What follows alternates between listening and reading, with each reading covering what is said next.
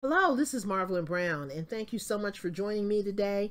Today, we're going to talk about uh, blogging. We're going to talk about WordPress, what it is, and how you can use it to monetize your hobbies and interests.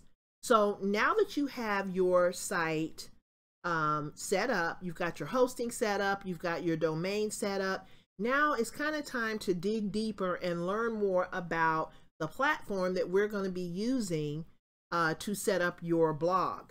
So if you have not set up your hosting and your domain yet, um, you are on the page at uh, inawordservices.com forward slash Bluehost. If you're on that page, then there is a, a section in that page that will walk you through getting all of that set up. Now, once you have all of that set up, then you're going to be ready for this video. Now, this video is kind of an intermediate step that you can take before you take the blogging basics course. Number one, it's going to show you what you can do with your blog or what you can do with your site once you get it set up. That's what you will learn in blogging basics. It's going to walk you through setting up your pages, setting up your posts, you know, and all the ins and outs and all the details that you need to finish building out your blog. Once your blog has been built out, then you are going to want uh, to know how to blog, you know, some of the tools and the tips and things that you need to know so that you can be successful with your blog. You're also going to learn the details about some of the things that we're going to talk about today when it comes to monetizing your hobbies and your interests.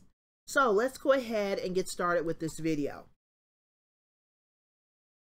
So what is WordPress? WordPress is a platform that powers about 30% of the internet. Now, when you talk about a platform, um, I want you to visualize yourself and, you know, you're representing your business and you're standing in an auditorium that is packed with people and you're standing on the stage and you have a microphone in front of you. And that microphone enables you to reach that wide audience. You know, the people in the back can hear you, the people in the balcony can hear you. And so that microphone amplifies your voice so that you are heard by everyone sitting in the auditorium. And so that's basically what WordPress does for your business. It enables you to leverage the internet so that people can access your business no matter what device they're on, no matter where they are in the world. You know, you can reach a worldwide audience. You can also reach your local community. So no matter where you want to target, you know, your business, you can reach the audience that you want to reach. And so it's a it's basically like the gold standard of uh, blogging platforms because it is so flexible and it's really easy to work with. So a lot of developers create products for WordPress. That's the other advantage that using WordPress has over some of the other uh, platforms that are out there. Now, there are two versions of WordPress, and this is where it gets a little bit confusing. Some people are on WordPress.com and they think they're on, you know, WordPress.org when WordPress.org is really the gold standard um, WordPress.com is more of a blogging only platform. So it's very, it's limited in terms of, you know, what you can do with it. There aren't a lot of themes, professional themes that are available um, that you can use on WordPress.com. And sometimes when you, you know, you buy a theme, a professional theme, and you put it on WordPress.com, a lot of times it doesn't really look the way you might want it to look. So WordPress.com is more like the service. It's a service provided by uh, WordPress that enables people to blog. So you can get a blog online using WordPress.com, but you won't have the uh, functionality, you won't have the flexibility um, that you might have with a WordPress.org site.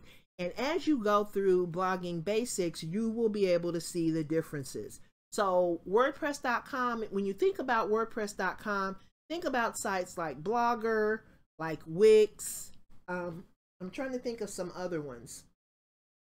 I can't really think of any other ones off the top of my head, but you kind of get the gist. When you are on a blogger site, um, there's really limited functionality. Yes, you can write a blog post. Yes, you can put, um, you know, an image on there. You can put a video on there. Um, but it may not format, it may not look that great, but it can definitely enable you to uh, blog and reach an audience. But WordPress.org is the software. So think about the difference between the service and the software um, we're going to be working with the software. And the software, you know, when you are able to work with the software, that gives you a lot more uh, flexibility. And those developers that are out there creating products for WordPress, they're creating products that enable you to do more and more and more with the WordPress platform. So, you know, being in front of that huge audience, you're on the stage, you want people who are interested, who are looking for, you know, the information that you have to provide. And so, you know, there again, we're going to go back to the auditorium. Those people sitting in the auditorium, you want them to be um, interested and anticipatory regarding, you know, your um, presentation, whatever that is.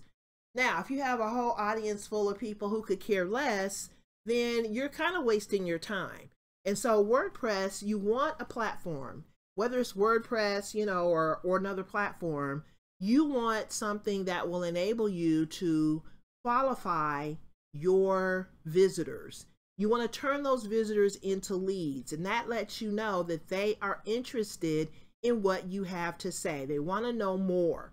And so that is where WordPress really shines. You know, it really enables you to uh, do a lot of the things that you might be doing in person right now. So instead of meeting with, you know, someone one on one, you're going to be able to actually meet with, you know, lots of people at the same time without having to rent space in an auditorium or without having to stand on a stage with a microphone. You can reach people at two or three o'clock in the morning while you're sleeping and you know they might even buy something from you during that time. So wordpress is really becoming a giant when it comes to uh, functionality and leveraging the power of the internet. So just consider you know wordpress.org is what we're going to be working with and uh, we are going to use this free platform to build your blog.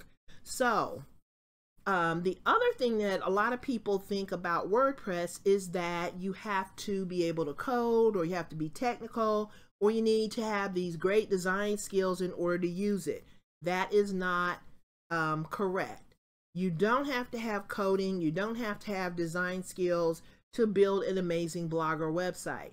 And so that is something that you will also learn in the Blogging Basics course, you know, how to create a great looking site without the coding skills, without the design skills, because there are lots of different tools that you can use that will really help you um, to create a great looking site. So in addition to the numerous economic opportunities, WordPress enables people, specifically, you know, for our purposes, business owners to share their stories, their ideas, um, to build communities and do lots of awesome things. So now here's some of the things that you can do with WordPress. Of course, you can blog, and that blog, you know, just having a blog really opens the door for you to do all the other things on this list. But the main thing that you can do with WordPress is you can blog. And so a lot of people use WordPress and they use the blogging functionality, but they also use other aspects of uh, the site. And so think about this. If you are a network marketer or you're in direct sales, the thing that you want to do if you're working in those industries is you want to differentiate yourself from all the other people who are working with the same company that you're working with, who are selling the same products as you. And basically, those folks are your competition. All the other reps in that company are your competition. And so it's very important for you to brand yourself and set yourself apart by showing potential customers uh, why it's better to work with you versus all those other reps, right? And so a blog will really enable you to do that. You can brand yourself. And you know, this is the mistake that I see a lot of network marketers and direct salespeople make is that they will go out and they will talk about their company. My company this, my company that, not knowing that they are uh, they're pushing the company, but they're not distinguishing themselves. So they're building the brand and they're bringing in resources for the other company. However, what happens if something happens to that relationship with that company? For whatever reason, what happens if that company is no longer in the picture? They are stuck trying to start all over again because no one knows them other than, you know, their association with that company. So, for example, if you're with, uh, I'll just say Avon, that's the first thing that comes to mind for me. Um, if you're an, A- an Avon rep and, you know, all you do is talk about Avon, Avon, Avon, Avon, right? And you never brand yourself. You don't have a blog. You don't have anything that differentiates you from all the other reps. Then your whole identity, your whole business identity lies with Avon and, you know, if you're able to um, build up um, a huge, you know, maybe you have tons and tons of customers, Avon customers, right? What happens if Avon goes away? What happens if they don't like something you did and they kick you out or they tell you you can't be a rep anymore?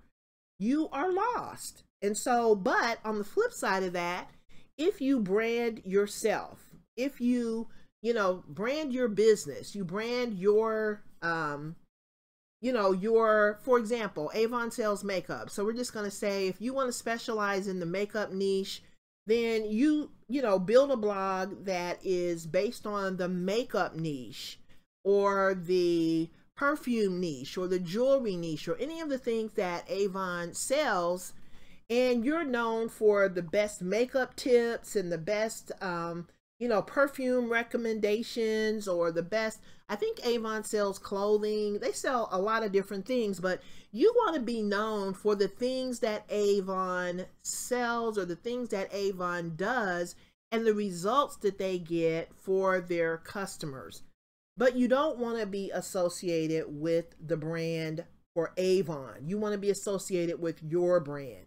And you want to be the best makeup person on the planet. You want to be the best um, jewelry person on the planet. So that way it doesn't just limit you to Avon.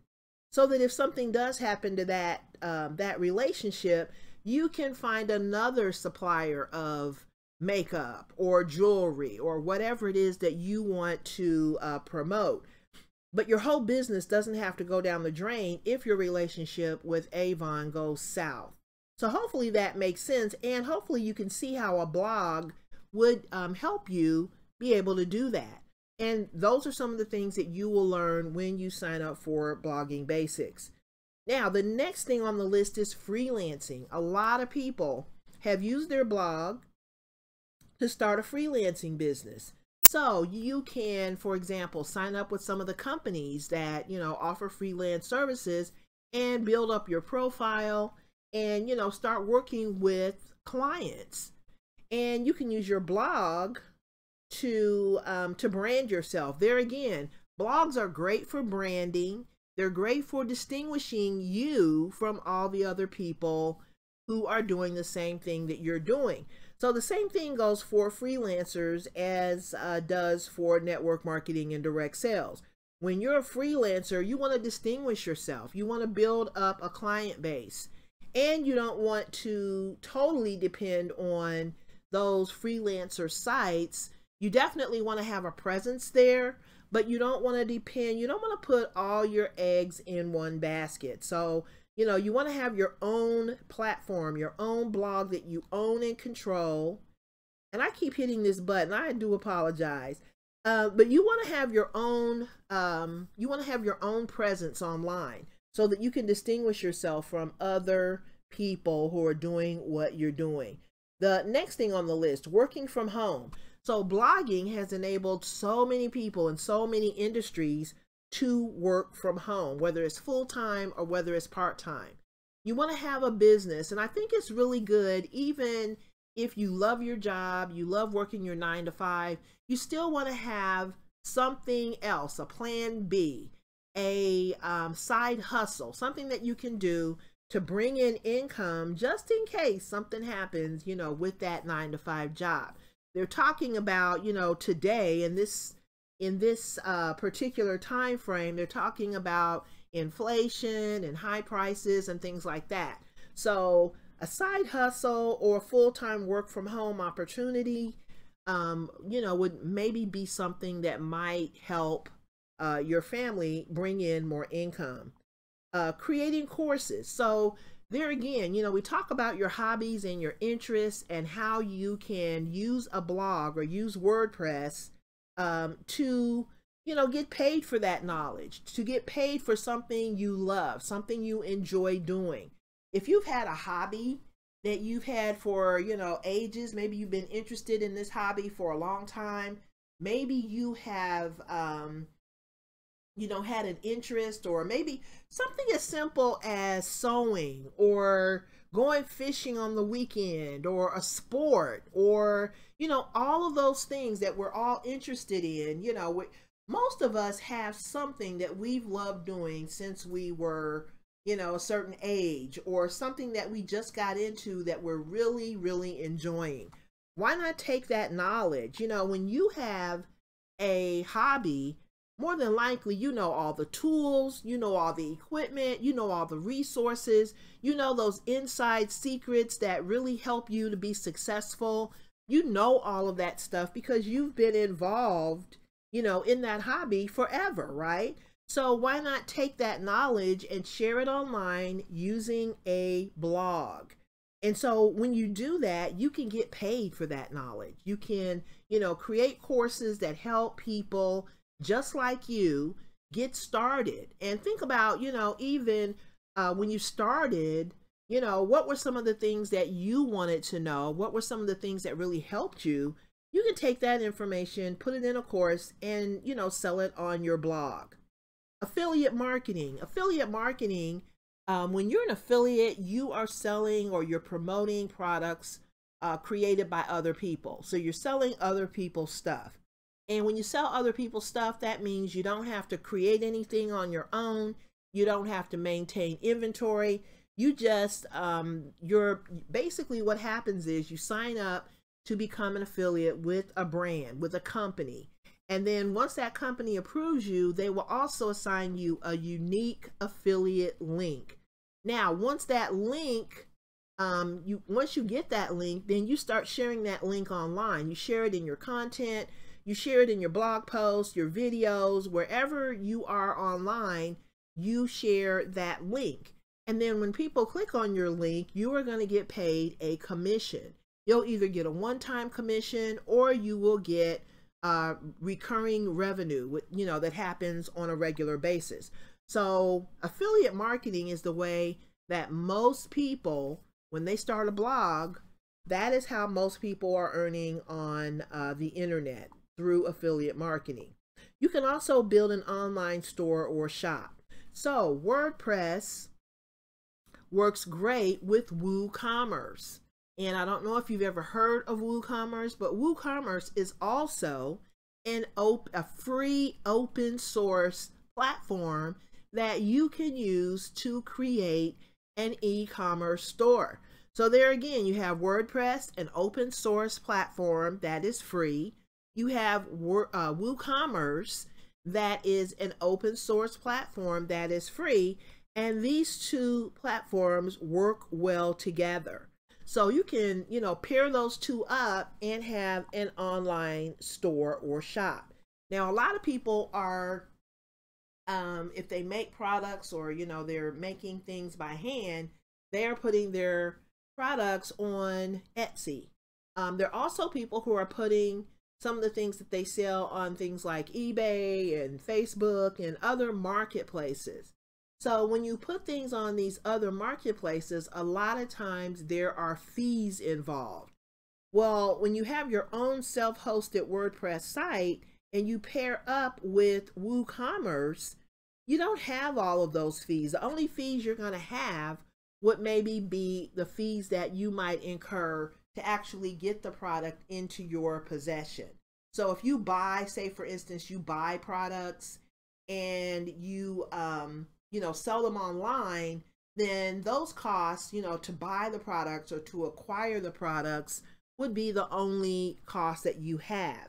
But when you're on platforms like Etsy and Facebook and all of those, eBay, they take out, you know, their part of your uh, profit each time you make a sale.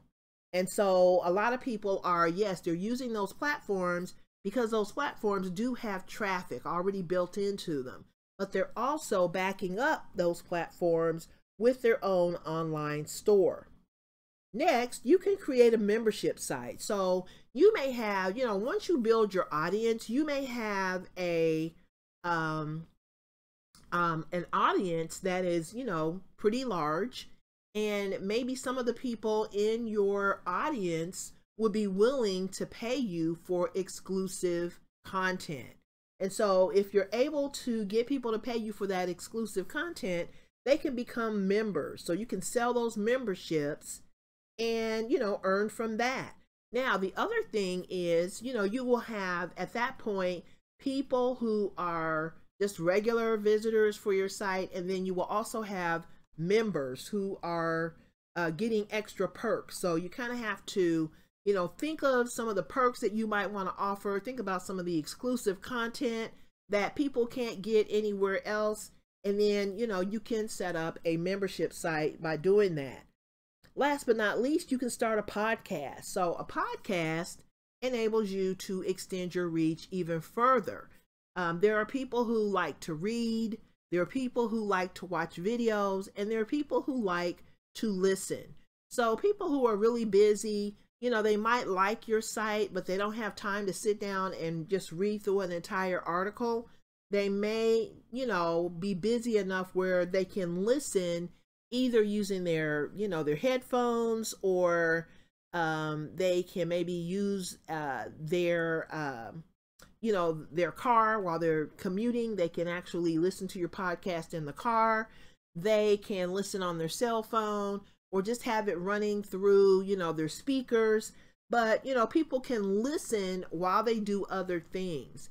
And that is a way that a lot of people are reaching an audience. They're also doing interviews with, you know, interesting people, people that can give a different perspective on whatever the topic is that they are covering on their blog.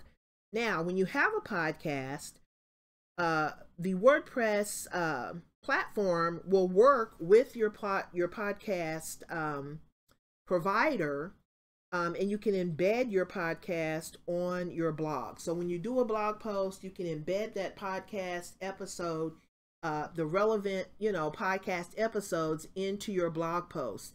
And that's also a great way to extend your reach. So now the first thing you want to do, and we talked about this in the beginning of the video, if you haven't done so already, you want to sign up for web hosting and a domain through Bluehost. And you can do that right here at inawordservices.com forward slash Bluehost. We're going to walk you through setting everything up. So there's a step-by-step -step video on that page as well as this video. So once you get everything set up, um, you can, you know, refer back to this video and just kind of review it to make sure that you have all the information you need to go through our blogging basics course. Now, the one thing that I will suggest before you um, head over to set up your hosting and your domain, when you're thinking about a domain, I really want you to give, I want you to pause and take a moment to think about your domain because it's very, very important. So your domain is the, um, so in a site called www.yoursite.com, the your site is your domain. So it's the, the, the information between www and the .com. So you fill in the blank with your site. And the thing that you want to do is you want to follow these tips when you're thinking about a domain name. you want it to be 15 or fewer characters. So the shorter your domain, the better, because the more characters you have in that domain name, the harder it is for people to remember. So you want to make it easy to pronounce and easy to spell. You want to include keywords. So if you're in the fitness niche or the health and wellness niche, you definitely want to think about some related keywords that you can use in your domain. You want to choose niche specific um, names. So there again, you know, those keywords that relate to your niche are going to um, be beneficial because that will help people to uh, remember your um, your domain or your site. Use .com when possible. So .com is the extension that most people are used to seeing.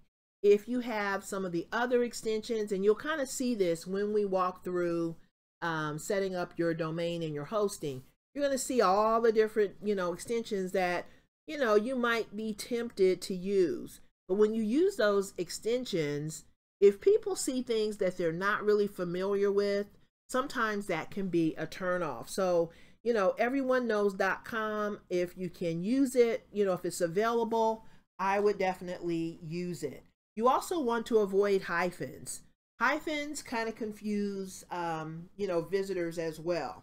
So, you know, try to avoid hyphens at all costs. And you want your domain to be unique and brandable. So there again, just like we said before, you know, if you're in certain industries, especially, it's really important for you to distinguish yourself from all the other people that are doing what you're doing. So you want to make your uh, domain unique and brandable. And then you also want to avoid double letters because double letters, there again, can be confusing. Now, we're going to give you a um, when you sign up through Bluehost, you are going to get a free domain registration with the hosting plan. So you'll have your domain for one year for free. They will include that in the hosting plan. And what that means is, you know, when you pay for your um, hosting and your domain up front for a whole year, that means you're done for a whole year. You don't have to worry about paying that bill.